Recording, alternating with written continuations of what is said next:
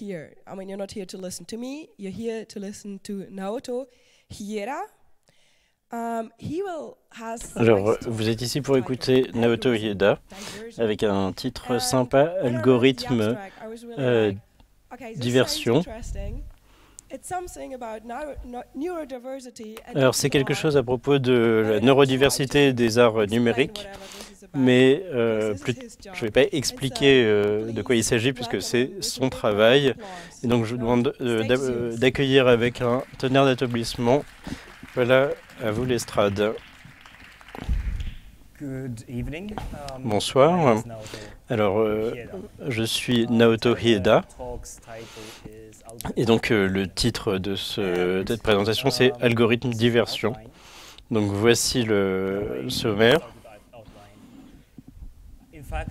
Et en fait, euh, mes slides sont faits avec mon propre programme.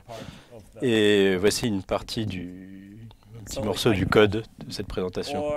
Alors, ça va peut-être être euh, planté ou se comporter un peu bizarrement, mais bon, ça fait partie de la, performance.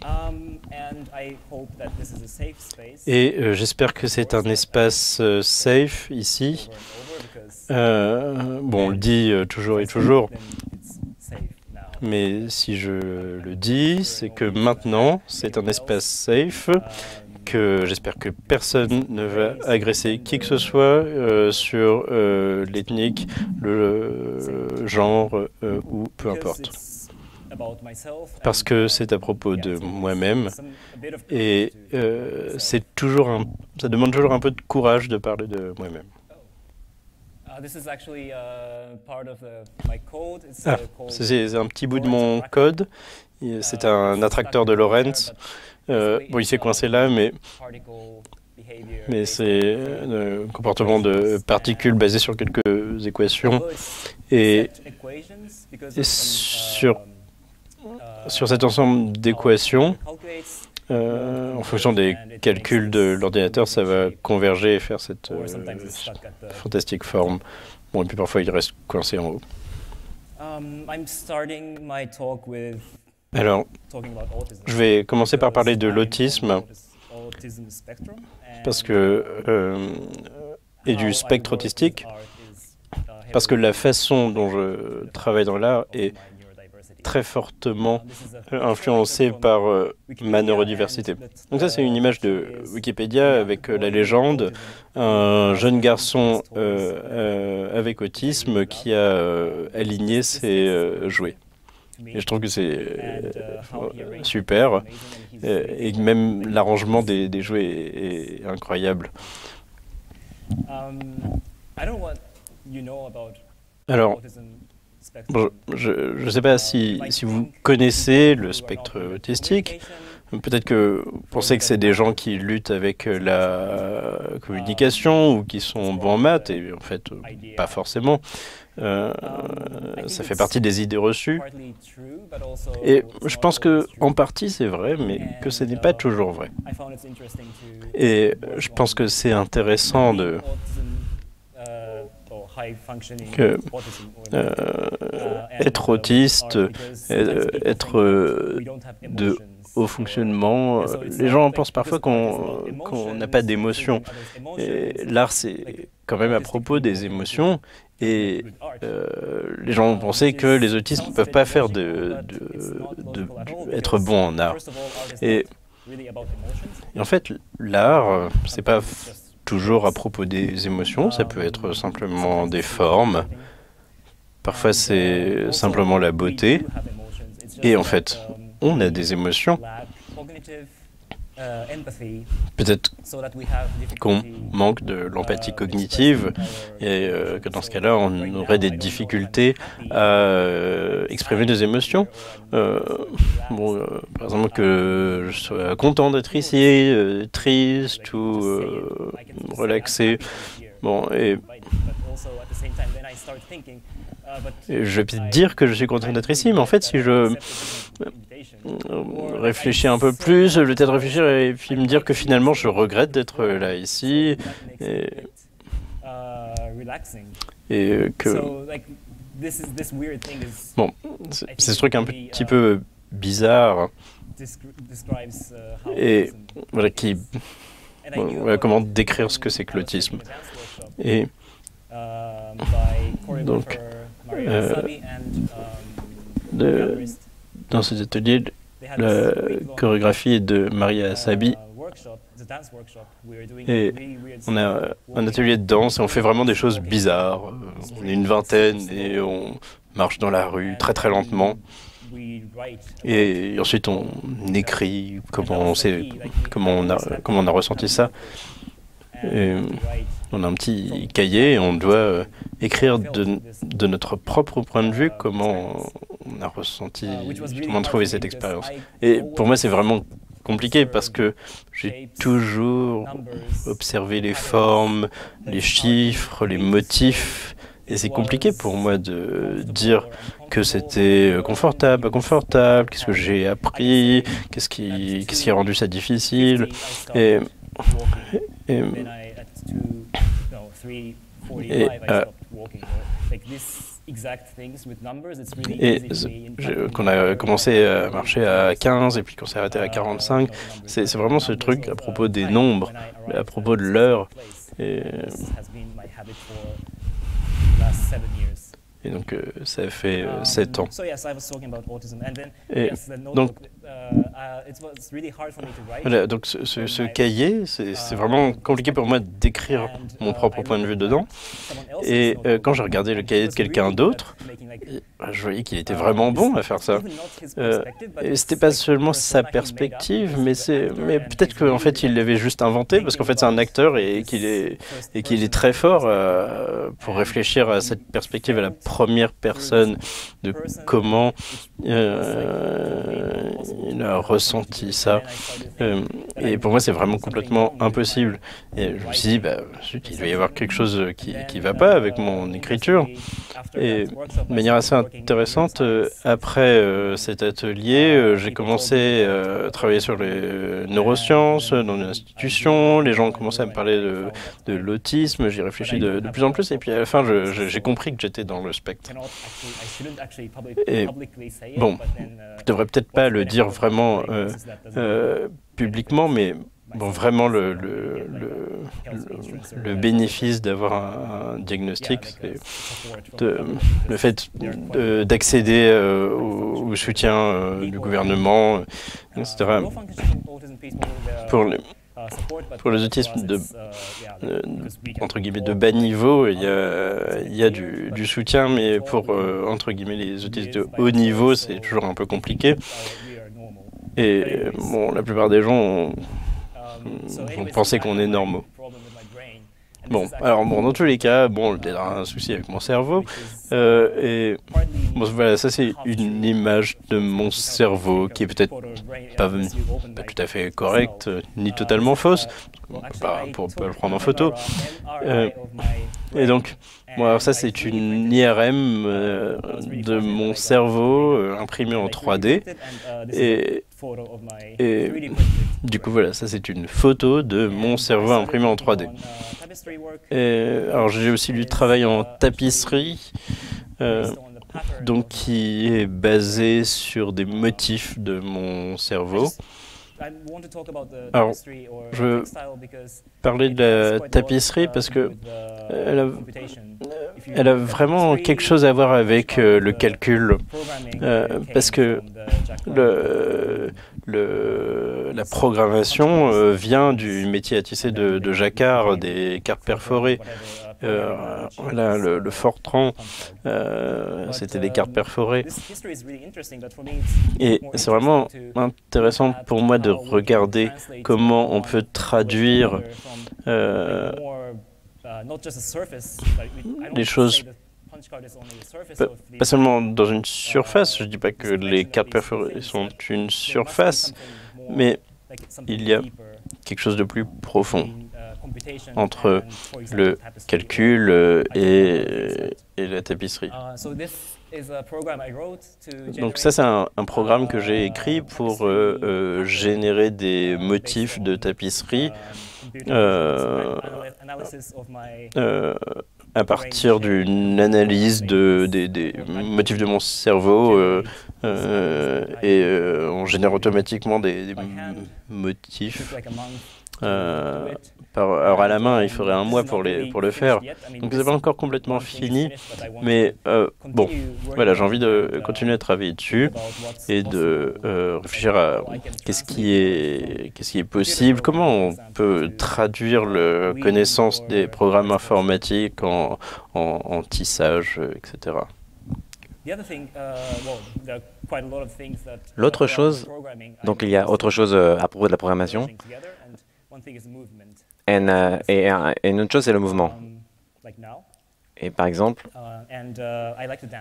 et j'aime danser. Si vous voyez, si vous regardez à l'histoire, euh, tout ce qui est rapport avec la danse, et, di- et disons l'écriture qui, qui décrit la danse, ça c'est l'écriture euh, Laban de, des années 20. Et en gros, ce qu'il a fait, c'est toujours assez marrant de regarder cette- à, cette- à ce schéma. Donc il a assigné des symboles à chaque partie du corps, à chaque partie du corps.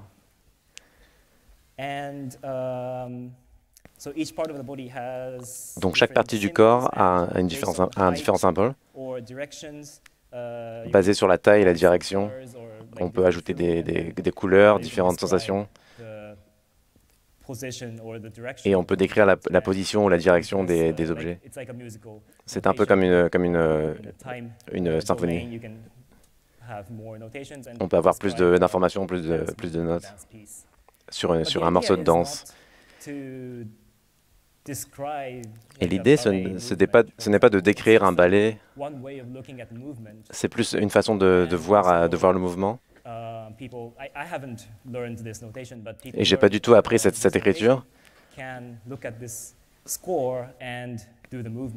Mais ceux qui, ceux qui l'ont appris peuvent, peuvent en fait euh, regarder, regarder cette note et, et être capable de décrire le mouvement. Et c'est assez intéressant d'être capable de transformer les mouvements de danse en quelque chose d'autre. Et, et oui, et effectivement de- de- d'exécuter des sortes d'algorithmes basés sur les mouvements de danse. Et ça, Ça donne lieu à tellement de, de possibilités, comme, John Cage et, ce genre d'artistes exceptionnels.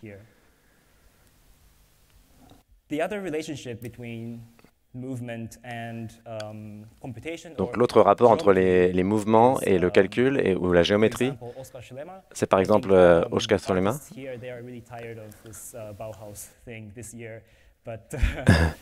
Donc-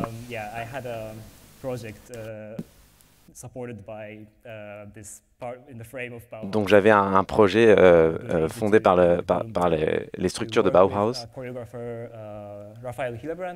et le chorégraphe Ra- Raphaël Hillebrandt et des danseurs de l'Académie de Hong Kong. pour créer la version au 21e siècle de Oskar Scholema. Et donc je vais essayer de vous montrer une vidéo.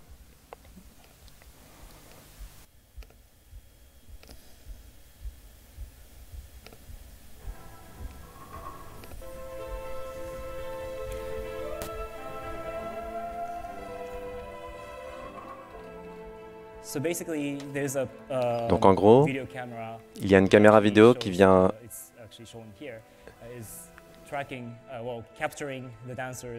qui vient filmer les danseurs. et qui va utiliser la librairie OpenPose pour euh, suivre les mouvements et ensuite les revisualiser leurs mouvements sur cet écran. It's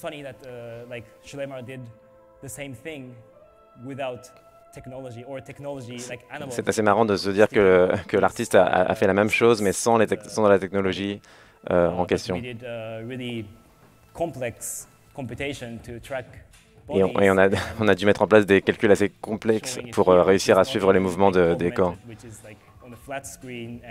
uh, Toujours diffusé sur un écran complètement plat. uh, Et on peut voir euh, quelques délais entre le- les, danseurs et, le, et la visualisation. Okay, Très bien. so that was like my interest with um, donc ça, c'était un peu mes intérêts. Euh, la, le, la, première chose, c'est la, la, tapisserie, ensuite il y a eu les mouvements.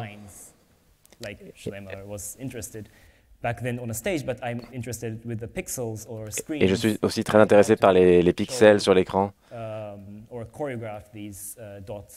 et la chorégraphie de ces, de ces lignes et de ces points. Mais ça, en soi, ce n'est pas vraiment quelque chose de nouveau. Uh, uh, ah, mais maintenant, euh, au XXIe siècle, on peut, on peut télécharger des images, on peut télécharger des vidéos. Uh, mais en, en 1982, il y avait ce programme euh, appelé TenPrint qui permettait de visualiser des, des lignes et des points.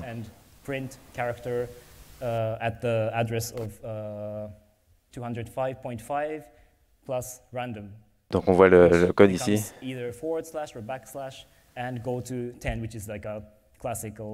qui termine par goto disk, qui est un classique euh, opérateur goto. Si on l'exécute, on voit des, des slash euh, et, des, et des backslash. Au bout d'un moment, on commence à voir des motifs qui émergent. Donc ça, c'est une version recréée qui, qui n'est pas joué en temps réel. Um, Ça, c'est l'exécution. Uh, to create these slides, and I use this to make videos or uh, the video that I showed with the 21st century of stick dance, I used processing. Et donc ça, c'est le process que j'utilise pour créer les vidéos. Processing is made by um, Ben Fry and Casey Reyes in 2001. And the idea of alors, Processing a été créé en 2001 et donc le, but c'est de rendre euh, le, le, rendu facile. Donc par exemple si vous voulez rendre un triangle en OpenGL en C, vous devez écrire toutes ces lignes de code et en fait c'est juste du boilerplate. Mais ça fait beaucoup plus euh, sens d'avoir juste une fonction draw et puis euh, d'avoir une fonction triangle. Et euh, c'est vraiment ce truc révolutionnaire dans processing, c'est de ne pas avoir à penser à toutes ces choses sur OpenGL et d'avoir juste des triangles, des cercles, des triangles, toutes ces formes. voilà, alors ça, ce code produit un triangle. Et donc j'ai commencé à dessiner des choses comme des, des grilles ou des particules pour faire un, un nuage d'étoiles. Alors je suis vraiment obsédé par les sinusoïdales, encore des sinusoïdales. Et aussi, ça m'intéresse d'utiliser le code avec d'autres modalités qui... Là, j'ai montré le mouvement, mais on pourrait faire aussi du texte. Oh, ah, désolé, ça c'est autre uh, chose. Alors j'ai essayé de faire cette expérience euh, pour avoir un petit peu de méditation tous les jours, euh, penser aux formes euh, moi-même. Et donc je, dessinais des formes à partir de l'écriture manuscrite euh, avec processing et bah, c'est assez rigolo de, de regarder ça maintenant. Parce que, bon, euh, à l'époque j'avais enregistré tout un tas de mouvements et c'était pas vraiment fait pour le montrer à d'autres personnes. Donc c'est rigolo de regarder un petit peu de capture d'écran de cette époque-là. Et et ces mouvements étaient censés décrire la, la même forme que, que, que, je faisais avec Processing ou à la main. Et ensuite, j'étais aussi intéressé par le, par le texte. Euh, la façon dont je vois les poèmes, c'est pas forcément euh, en tant que texte, mais parfois ça évoque aussi plutôt des, des formes, des, des, motifs, des couleurs. Alors j'ai commencé à oui, dessiner des, des formes. Et pourquoi j'ai commencé ça? C'est parce que euh, il y avait cet atelier intéressant sur le machine learning où on était, euh, de, on nous demandait de catégoriser des poèmes et c'était quand même vraiment difficile parce qu'on ne peut pas juste catégoriser des poèmes euh, juste par le style, par l'émotion. Euh, mais d'abord, je me suis dit, je vais d'abord les convertir en forme, et ensuite, à partir des formes, je pourrais plus facilement les catégoriser. Est-ce que c'est un cercle? Est-ce que c'est un carré, un triangle? Et par exemple, cette, forme-là, c'est plutôt comme un triangle. Et bon, il y en a d'autres qui sont plutôt comme d'autres formes. Alors j'ai aussi collaboré avec euh, un écrivain euh, et danseur, Jenny Hamilton, pour, euh, pour faire cette sorte de vidéo interactive avec du texte. Alors, bon voilà, c'était un peu aller dans différentes directions. Et donc là, je voudrais revenir un petit peu à la, à la partie diversité de la programmation. Donc ça, c'est P5.js. Euh, donc c'est un spin-off de processing. Donc commencé par Lorraine McCarthy. Euh, et l'idée, c'est de transformer processing en, euh, en, environnement de, de, codage créatif, mais euh, en version web. Euh, parce que processing, c'est sympa, mais il faut télécharger l'IDE processing. et bon, ça ne permet pas de très facilement partager ces programmes. On va prendre des captures d'écran ou alors faire un enregistrement d'écran en vidéo. Mais en fait, si c'est du web, on a juste un lien et tout le monde peut le, peut le voir. Euh, on peut utiliser des plateformes comme Open Processing. Et euh, dans ce cas-là, on a juste à euh, commencer à écrire le code avec le p5.js et puis voilà, on peut partager des, brouillons, on peut forquer un, un brouillon et travailler dessus. Alors, ce qui est intéressant avec P5JS, c'est que il y a une communauté. Alors bon, faut pas, enfin, bon, le lisez pas, c'est quand même assez long. C'est le plus, c'est le plus long texte de ma présentation. Euh, donc il y a le, la déclaration de la communauté de P5JS, c'est une communauté intéressée par l'exploration de la création, de l'art, du design avec la technologie.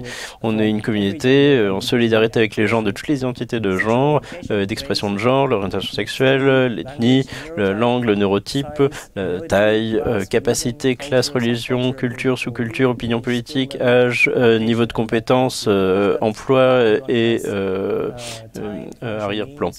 Et on reconnaît que tout le monde euh, n'a pas le temps, les moyens financiers, les capacités de participer activement, mais on reconnaît, on encourage toutes les formes d'implication. On facilite et on, encourage l'accès et l'empowerment. Et nous sommes tous des apprenants. Et donc euh, on aime ces hashtags, No Code Snobs parce qu'on on valorise plus la communauté que l'efficacité, New Kid Love parce qu'on a tous commencé quelque part, and Assume Core parce qu'on ne suppose pas la connaissance, et Black Lives Matter, parce que bien sûr. Donc ça c'est euh, différentes directions de processing parce que processing c'était bon euh, plus une façon d'abaisser la, le, le coût d'entrée pour commencer à coder. Mais bon, voilà, on reste dans euh, euh, l'homme blanc dominant dans cette culture de, de l'art média. Mais là, on, on, change, on, suppose que tout le monde est un apprenant, euh, tout le monde peut poser des questions. et voilà, il y, a quand même pas mal de projets qui vont juste euh, fermer vos, tickets. Euh, et dans P5JS, on a une autre approche.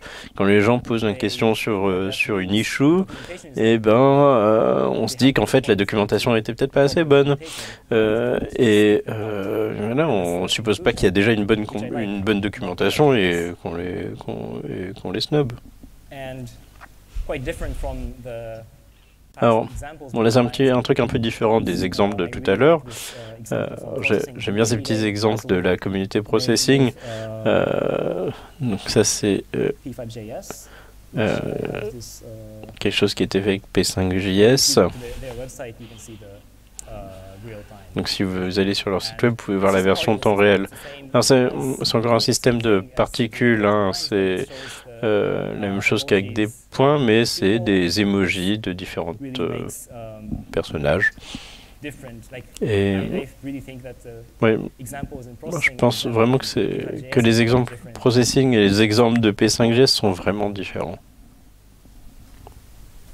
Um, et donc j'ai dit, j'ai dit les, les, jours de, les journées de la communauté processing à Bâle.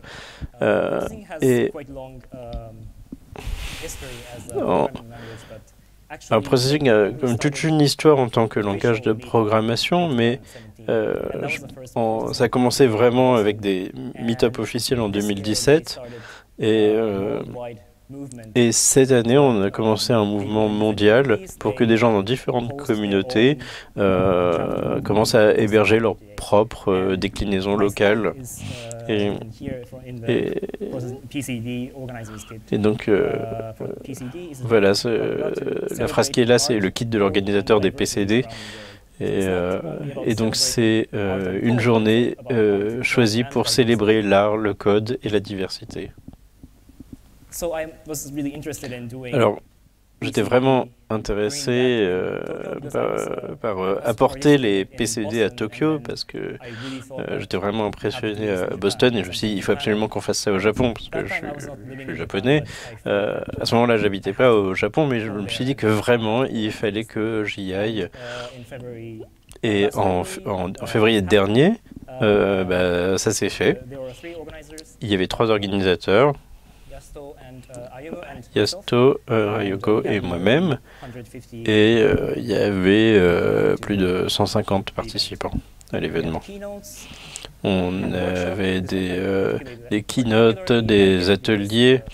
C'était un atelier de un atelier d'introduction au, au, P5JS pour faire des motifs de fleurs c'est vraiment euh, coloré. Et euh, on avait aussi des, des, euh, des présentations express donc là, c'était euh, comment montrer aux enfants euh, comment écrire du processing. Donc c'est vraiment bon, c'est pas totalement évident parce que bon, euh, il faut expliquer le, le, la programmation et les et les types.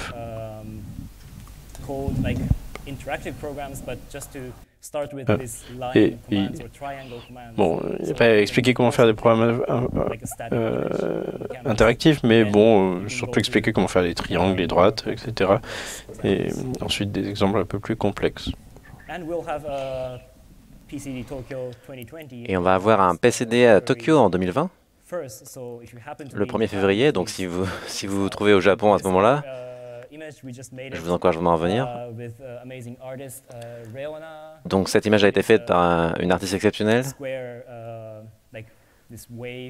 avec des, des carrés, des vagues, des textures.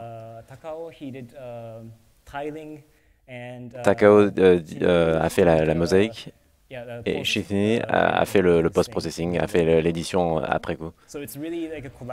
C'est vraiment quelque chose de très collaboratif.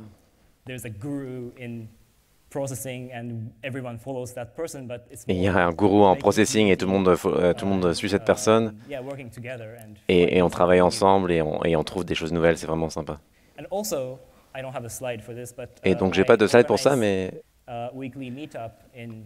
mais j'organise aussi un, un meet-up euh, hebdomadaire à Cologne.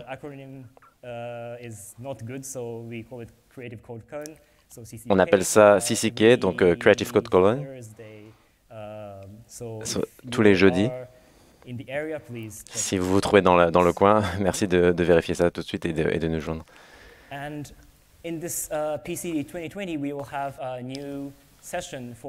Donc dans cette conférence PCD 2020, euh, on aura une nouvelle session pour le live coding, pour le, le coding en temps réel. Ça peut être euh, pris de différentes façons, mais pour nous, c'est vraiment euh, une, une, représentation. C'est vraiment d'être sur scène, d'écrire un programme et de voilà d'être en représentation au même moment. Et donc ça, c'est c'est Cody, ils sont, à, ils sont à New York et ils font du, des, des, visualisations et du son ensemble, tout en écrivant le, le code sur scène. And this is really also interesting uh, community. This uh, Alors, le live coding, c'est vraiment une communauté intéressante parce que c'est toujours une communauté assez petite, mais c'est très, très euh, diffusé dans le monde. Et, et donc, il y a, et donc ça, ça, rend un peu chaque artiste nomade, mais en même temps euh, partie de la communauté et tout le monde se connaît les uns les autres. Et, et c'est une communauté assez diverse également. Et donc je pense que j'ai encore euh, pas mal de temps.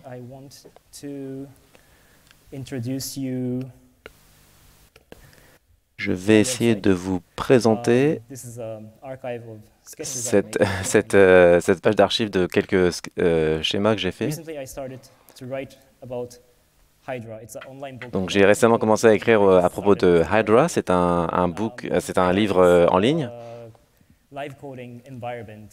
Donc c'est un environnement de live coding. C'est basé sur des technologies web et permet de faire des visualisations. Si vous ouvrez l'interface Hydra, vous pouvez commencer avec un exemple. Donc par exemple, en commençant à partir de rien, j'ai un, un, oscillateur très simple. J'ai aussi une modulation. Je peux chaîner les, les opérateurs. ça, ça, devient de plus en plus fou. Et c'est vraiment sympa parce que je suis en train de faire du, du, du code en direct tout en étant sur scène. Et ça devient de plus en plus fou. Mais puisque je suis intéressé par les algorithmes, je, je réfléchis à des façons de rendre ça plus uh, systématique. Et pas seulement de trouver par hasard euh, des, des, des, des motifs assez fous.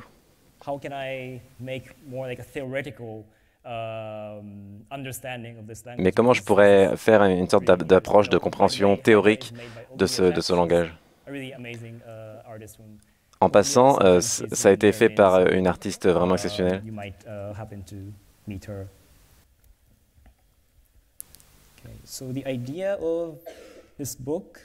Donc l'idée de ce livre, c'est de commencer par des motifs assez simples, de, de discuter plusieurs types de filtres,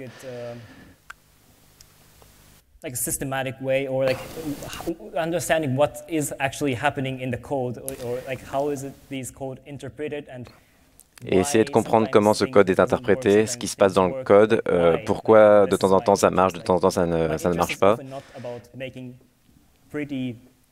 Et en général, ce, que je, ce j'aime, c'est pas forcément de faire des visualisations assez jolies. C'est d'ailleurs pour ça que je suis peut-être pas le meilleur artiste. Mais ce qui m'intéresse vraiment, c'est ce qui se passe derrière.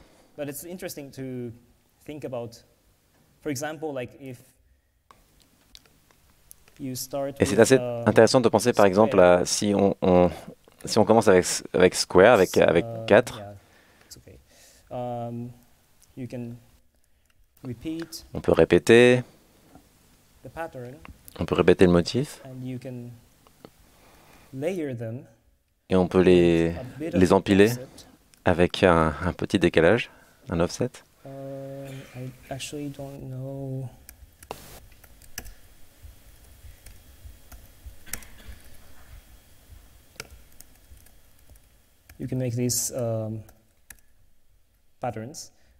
on peut faire ce genre de motif.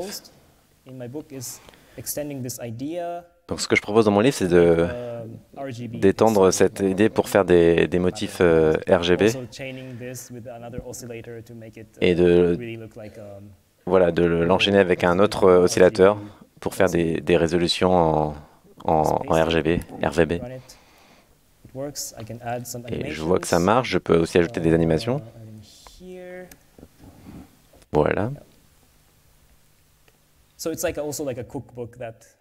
Donc c'est un peu un livre de recettes qu'on peut suivre euh, avec quelques, quelques extraits euh, qu'on peut ensuite modifier. J'essaie toujours d'expliquer ce qui se passe euh, um, derrière euh, dans les entrailles de Hydra. Et si vous êtes intéressé, surtout n'hésitez pas à, à, aller voir ce, ce, livre en ligne. I also have, um, some J'ai également quelques croquis. Par exemple, celui-là, ça a été fait avec P5GS.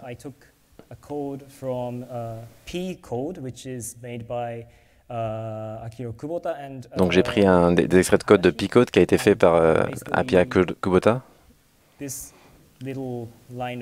Et cette euh, ligne de code ici, elle est exécutée. Elle est exécutée par des, par des, des nœuds, par des, des serveurs euh, physiques. Et donc là, on voit P5JS en train d'être euh, voilà, réactif, visuel. On peut vraiment faire du, du live coding. Donc, donc ça paraît un peu euh, cassé à l'oreille, mais c'est en fait, euh, ça marche parfaitement. Et c'est ça qui est marrant avec le live coding, c'est que c'est pas toujours à propos de, de, de la réussite. Mais parfois, les résultats, ça mène aussi à d'autres découvertes. Uh, Et dans le cas de, de Hydra, c'est plutôt écrire ce, ce, livre pour essayer de compenser le, les, la progression par tâtonnement. Et donc, euh, oui, voilà, ce que je pense, c'est que parfois, c'est bien d'analyser, et parfois, dans d'autres circonstances, c'est aussi bien d'essayer, de, d'échouer, de, d'essayer autre chose. Uh, next, I want to et maintenant, je voudrais aller dans une autre version de Hydra. Ça s'appelle Pixel Jam. C'est vraiment cool.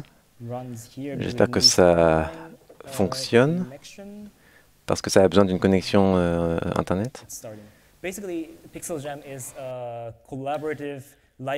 Donc en gros, Pixel Jam, c'est un, environnement de, de live coding en collaboration, en ligne. Donc c'est une sorte de chat. Il faut entrer votre nom.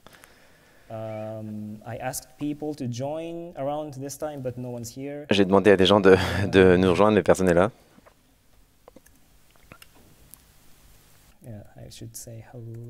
Donc je vais essayer de dire hello.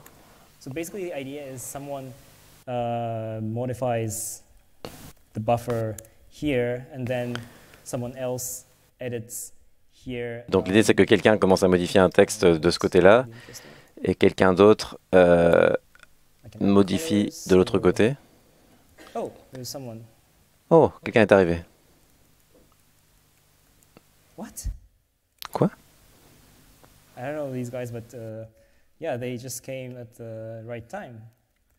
On a l'impression qu'ils sont juste arrivés au bon moment. Parfait. Je ne connais pas ces um, personnes.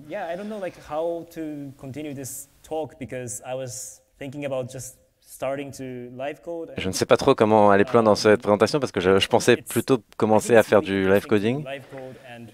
Oh, Et je trouve que c'est plus intéressant de d'écrire le code plutôt que d'en que parler. Uh, Donc je vais peut-être les laisser jouer avec euh, l'outil et moi je, je peux parler.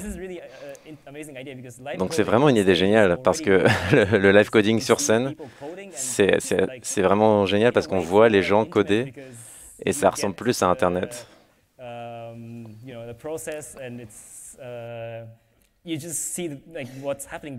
Et on voit vraiment ce qui se passe derrière.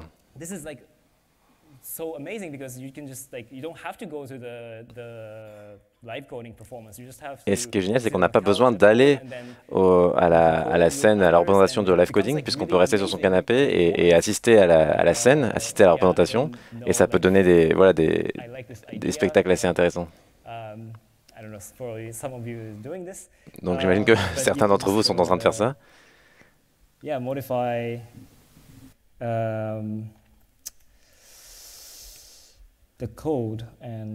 Donc oui, on peut changer le code.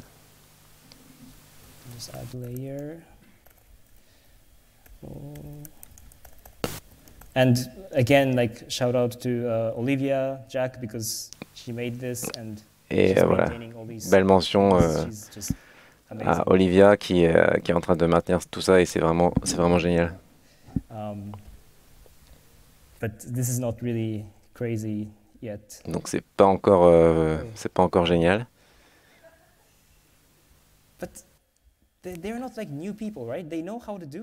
On dirait qu'ils savent exactement utiliser la librairie. Parce que normalement, si vous ne connaissez pas la syntaxe, c'est difficile d'écrire. Et là, là, c'est vraiment génial. Parce que, parce que là, je comprends vraiment pas ce qui se passe. Euh, voilà, c'est vraiment génial. Et c'est quelque chose que j'ai écrit avant, donc peut-être que quelqu'un est en train de reprendre les commandes de l'historique.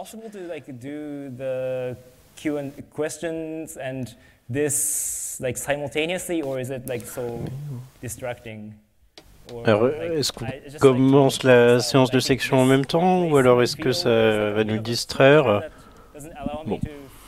Ouais. Peu de structure, ça ne me permet pas trop d'improviser. De, d'improviser. bon, alors je vais peut-être le laisser comme ça, et puis on passe à la séance de questions. Bon, alors vraiment, euh, un tonnerre d'applaudissements.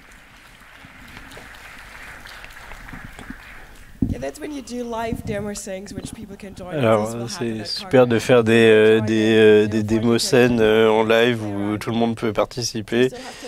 C'est vraiment ce qu'il y a au congrès. Um, bon. Alors, donc maintenant vous avez l'opportunité de poser des questions. On a un petit peu de temps. Donc si vous voulez poser des questions, vous vous faites la queue derrière les micros. Il y en a trois dans la salle. Et Alors merci beaucoup pour euh, ce, cette présentation, c'était vraiment inspirant. Alors j'aurais une question, c'est comment est-ce que tout ça euh, se, se relie à la scène démo Parce que est-ce que c'est une est-ce que c'est une version 2019 de des, des scènes démo des années 80 Réponse. Euh, le, le live coding, la combinaison de programmation visuelle, le son, etc. Euh, oui, alors c'est vraiment pas quelque chose de nouveau. Hein. Euh, ça, ça, a vraiment une très longue histoire et, euh, et je pense pas qu'il faut brûler tout ça. Je pense. Euh, euh, en fait, il faut qu'on on se réinvente en permanence.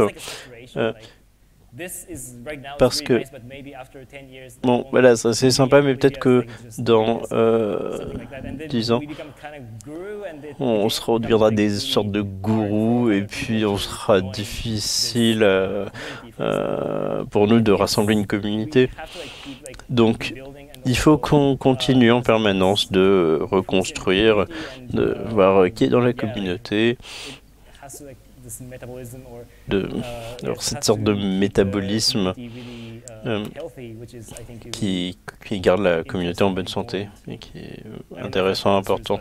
That's, that's what I think about this P5JS or processing, uh, like processing community day or this live coding scene that is really interesting about, and it's not only about the aesthetics or uh, the audiovisual thing. Alors une question au micro 2. Alors est-ce que vous avez déjà essayé de travailler avec euh, des traductions, des notations euh, de danse euh, et de les retraduire en, code dans un environnement de live coding et d'une certaine manière avoir une boucle de rétroaction entre ces, ces deux choses, entre les mouvements physiques Alors, pas, pas totalement avec, euh, pas spécialement avec cette uh, notation euh, de danse, mais quelque chose un peu dans, dans cet esprit. J'ai toujours euh, enfin, fait attention à pas trop introduire cette boucle de, de rétroaction parce que mais quand il y a vraiment trop de, de composantes, on ne sait plus trop qui affecte quoi et ensuite ça devient euh, chaotique. Et je faisais du machine learning pour comprendre les mouvements, pour euh, les rendre un peu visuels.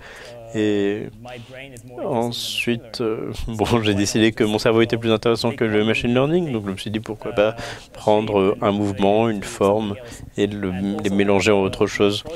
Euh, je sais un nouveau projet qui arrive, euh, une résidence web Euh, dans ce cas, j'aurai une résidence pour euh, pouvoir continuer mon, mon archive, mais en réfléchissant plus à prendre, à prendre soin, à faire des expositions de mon travail en ligne et, et bon, voilà, faire des, des, expositions, des expositions, et puis casser un peu cette espèce de politique de galerie où les gens vendent des œuvres d'art en, en, physique. Bon, bref, voilà. Alors, une question euh, d'Internet. Alors, alors qu'est-ce que vous pensez la façon la plus simple de commencer à programmer un truc graphique avec processing?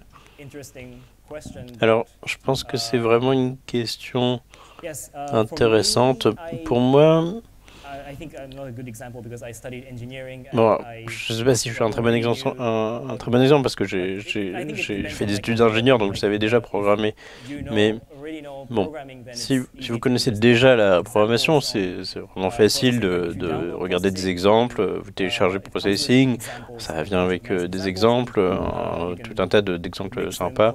Et puis, bon, vous jouez avec pour euh, comprendre euh, ce que ça peut faire.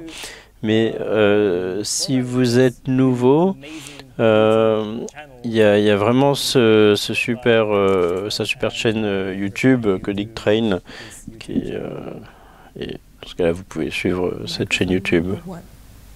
Thanks for the cool talk and the cool um, tools that you introduced. I was playing around with Hydra when you um, told us, so I missed the rest of the talk. But um, I have uh,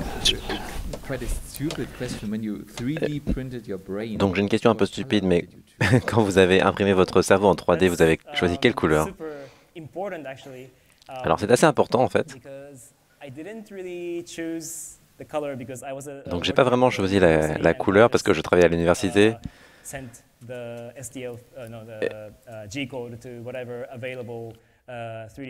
Et on m'a envoyé mon code vers la première imprimante qui était disponible. Recently I do my nails and that's light blue and uh, I like this color now. Et donc je, je, je me vernis les ongles et c'est bleu donc euh, donc euh, j'aime cette couleur maintenant. We have one more question from the internet. On a encore une question qui nous vient d'un internaute. You manage to find other autistic people with similar interests through your art? Est-ce que vous avez réussi à trouver d'autres autistes avec des intérêts similaires à par rapport à votre art? To find other people on the autism spectrum with similar interests through Okay. your art? Um, yes. uh, Alors I oui. think this was really important for me because C'était très important pour moi en fait. I noticed that I'm Parce que la première fois que j'ai remarqué que j'étais autiste, j'étais vraiment complètement découragé. Je me suis dit, mais je vais vraiment, je ne devrais vraiment pas faire d'art. Je vais faire de la programmation, mais surtout pas de l'art parce que c'est pas, c'est pas pour moi. Et ensuite, uh, j'ai rencontré un is artiste qui travaille avec des mouvements brutaux, des, mouvements brutaux autistes, que ce que je comprends pas complètement, um, mais il est autiste. um, Et donc, j'ai commencé à analyser et à en comprendre la, sa, diversité et je these comprends toujours pas exactement um, comment elle arrive à, gérer l'art et la diversité,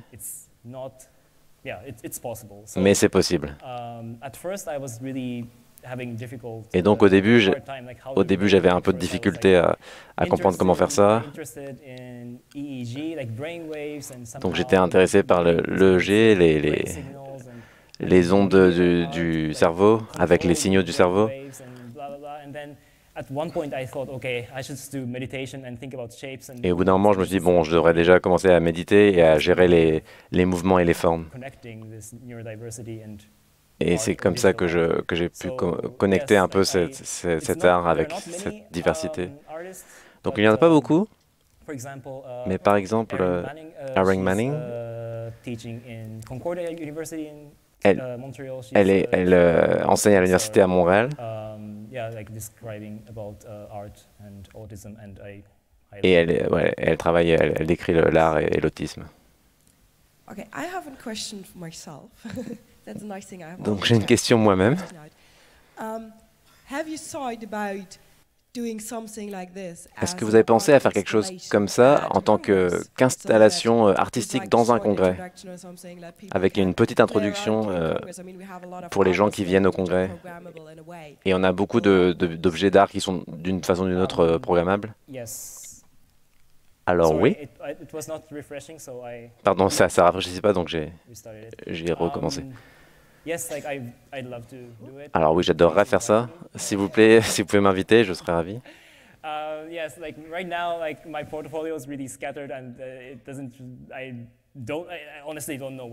Donc à ce moment, je ne sais pas vraiment ce que je fais. Mon portfolio est complètement euh, éparpillé en, plusieurs petites euh, pièces.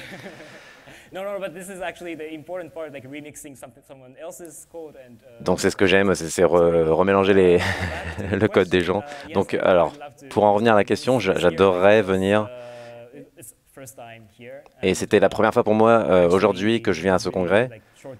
Et c'était, on m'a prévenu hier, donc c'était plutôt um, euh, petit délai pour, euh, pour m'organiser.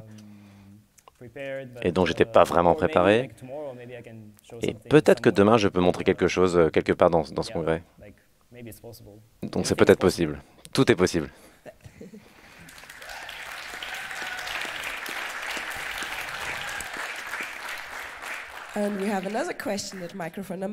On a une question au micro 2.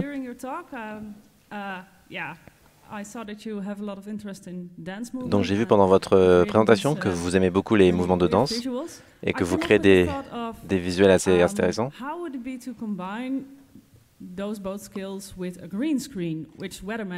Et qu'est-ce que ça donnerait si on, si on combinait ces, ces talents avec un, un écran vert pour, euh, pour, vous, pour vous enlever au post-montage et, et mélanger ça avec des visualisations complètement générées? Et ensuite, euh, voilà, vous disparaissez de, de l'écran. Um, juste une, juste une idée, juste une suggestion. Um, Merci beaucoup. Um, Alors, je pense que j'ai fait quelque chose de ce type. C'était... Donc, on n'avait pas assez de temps pour, pour aller là-dessus.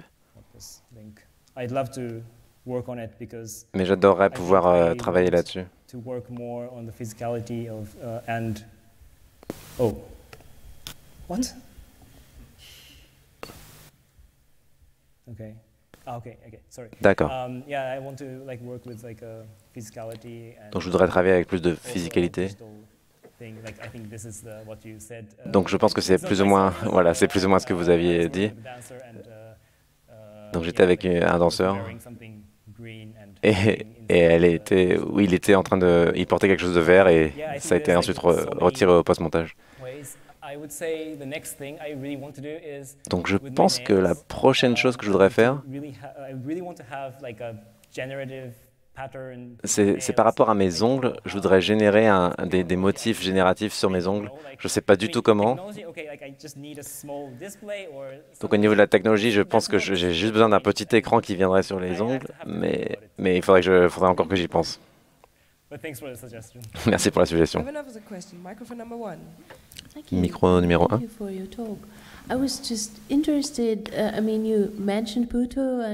Je me demandais, vous,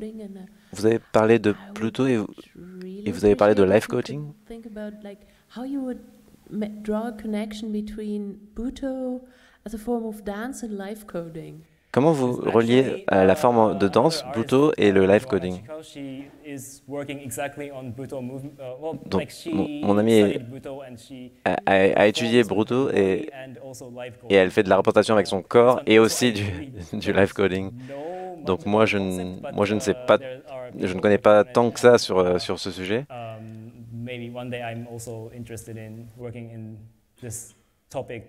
Mais un jour, je serai sûrement intéressé euh, euh, pour rejoindre ce, ce, genre de sujet. Aujourd'hui, j'ai un peu peur de, de, commencer à toucher à ce sujet, parce que je pense que ça demande d'étudier beaucoup de choses à propos de l'histoire.